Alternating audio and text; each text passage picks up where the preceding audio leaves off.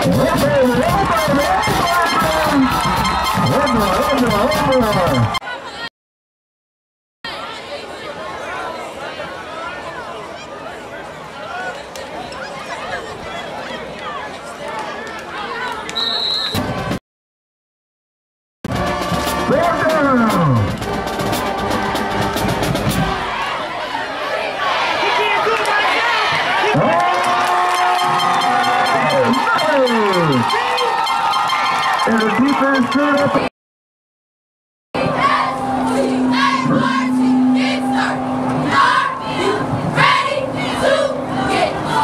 Johnson with the carry up the middle where he's met by a host of Dragons.